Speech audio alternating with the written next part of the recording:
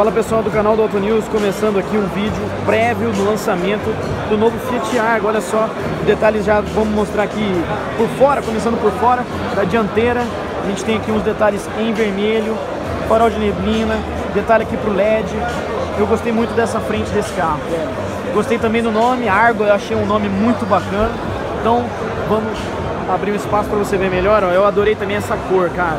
Esse azul lembra da BMW, na é verdade? A gente tem aqui já as rodas também que tem um desenho muito legal. Eu gostei bastante. Nessa versão tem aqui o detalhe, ó, HGT. A gente tem também os retrovisores nesta cor aqui, que é um cinza, um chumbo, né? Aqui, ó, para entrar sensor só com a chave presencial. Vamos aproveitar aqui, ó, já entrar aqui na parte de trás. Três encostos de cabeça, volante, é, cinto de três pontos. Vamos mostrar aqui, ó detalhes aqui, ó, em vermelho. Eu gostei desse detalhe em vermelho dessa versão. Vamos ver se a gente consegue entrar aqui no banco do motorista. Obrigado. Ó, o pessoal tá todo vindo aqui, então ó, vamos mostrar. De cara que a gente já vê velocímetro, conta giro e também o computador de bordo. Detalhes aqui da multimídia, tudo touchscreen. E aí a gente tem um volume por botão que eu gosto bastante, eu acho mais rápido do que a gente ficar apertando, né? Mas se quiser, ó, troca a estação por aqui. Gostei muito desse detalhe em vermelho, achei bem legal dessa versão. A gente tem três saídas de ar-condicionado aqui na frente, uma saída de ar-condicionado ali, outra saída de ar-condicionado aqui, o acabamento em vermelho continua aqui na lateral, farol. A gente tem todos os controles de vidros dianteiros e traseiros, detalhes em cromado aqui também da saída de ar-condicionado. Então, bem bacana mesmo. Aqui os controles de ar-condicionado tá meio escuro, mas aqui tem uma entrada USB e também uma entrada auxiliar, dois porta-copos, versão manual. Gostei da manoplinha de câmbio, olha só, tem um detalhe encromado aqui. Aqui a gente tem um apoio para o braço e também um porta USB para quem vai sentado atrás. Olha só, show de bola, né? E ainda por cima tá iluminadinho para ajudar o pessoal a achar fácil ali. Detalhes de costura do banco, olha só, muito bacana esse detalhe aqui. Também tem essa, esse detalhe de costura em vermelho para dar uma esportividade aqui pro carro. Aqui em cima a gente tem um detalhe para você guardar o seu óculos. Bacana. Aqui o, o, o espelhinho não tem luz, então só pra gente abrir e fechar. Gostei muito do interior, galera. Muito legal. Gostei também do volante.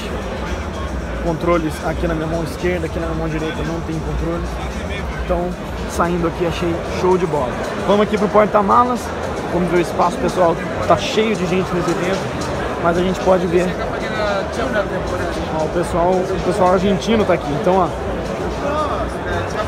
Porta-malas relativamente grande, né? Peraí, deixa eu arrumar. Achei bacana o tamanho do espaço. Não sei ao certo ainda quantos litros tem. Depois eu vou colocar a informação para você no nosso teste. Mas acho que é um porta-malas bem na ideia, bem bacana. Deve ter ali uns, uns 320, será? Quanto? Olha só, a gente tem ali também para rebater os bancos, né? Então, um simples toque de botão ali, a gente já rebate, consegue guardar mais coisas ali por dentro.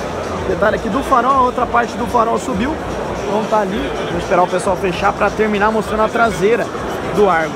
E tem ali também algum detalhe ó, de cromado, também o nome, como eu disse, gostei do nome esperar ele tirar uma foto aqui e a gente já fecha para mostrar a traseira do carro.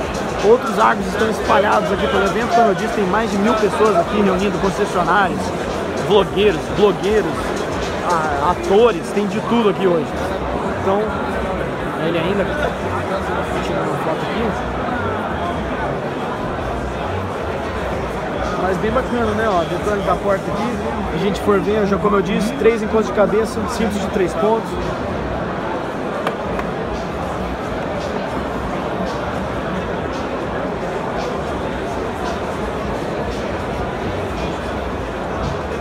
Estão ainda vendo o, o porta-malas aqui, mas já vou fechar. Posso fechar, né? Vamos ver aqui a traseira, olha só. Uma galera não gostou desse logo da Fiat. Eu gostei, achei que ficou bacana, meio minimalista, o nome aqui do lado. Gostei das lanternas, meio Fiat Toro, lembra até um pouco as lanternas do HB20, né? Olha só, o escapamento também meio bacana. Aqui tem um detalhe de, de aqui do aerofólio, né? Na cor, na mesma cor do, do retrovisor. Galera, resumindo, gostei muito do carro. Vou esperar né, o test drive, obviamente, mas a primeira impressão, ainda mais dessa versão, nessa cor, eu gostei bastante. Muito legal. Vamos dar uma andada aqui, rapidão, antes de eu terminar o vídeo. Já que a gente está no YouTube, tem tempo de sobra, vamos dar uma olhada aqui nessa versão que está aqui. Vamos ver qual que é. Deve ser também, ó, é HGT, obviamente, eles vão mostrar o melhor que eles têm, né?